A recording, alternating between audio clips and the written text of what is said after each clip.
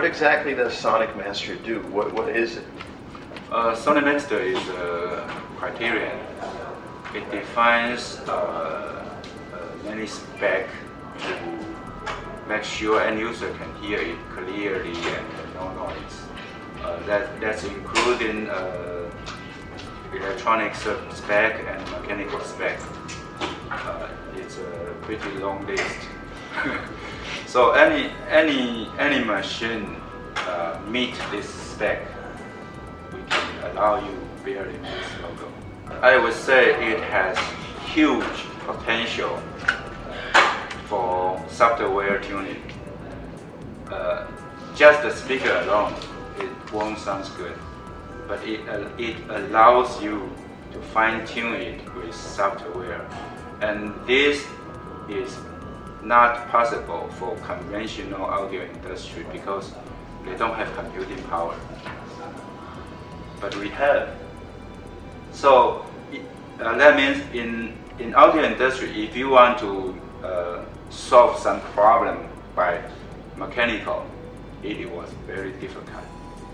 Maybe you need a diamond diaphragm, very hard, very rigid one, and you have to design the box very heavy and very big.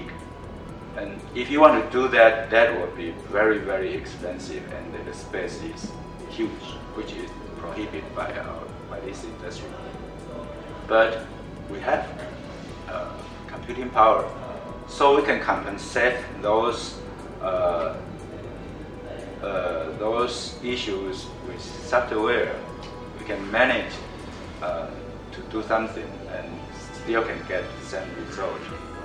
So if we're users and we're using this new SonicMaster technology, can you say a few words on the major benefits we can expect as users? They can hear it loud, loud and free of noise.